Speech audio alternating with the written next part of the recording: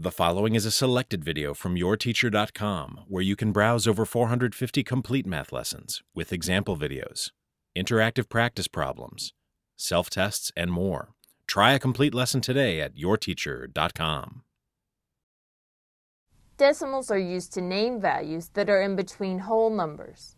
So the decimal 425.37 is in between the whole numbers 425 and 426.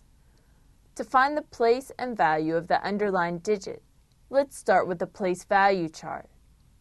The digits to the left of the decimal have the same place values that we've used in the past units, tens, hundreds, and so on. But the digits to the right of the decimal will have new place values. We say that the digit just to the right of the decimal is the tenths place. The next digit to the right is the hundredths place. Then comes the thousandths place, then the ten thousandths place, and so on.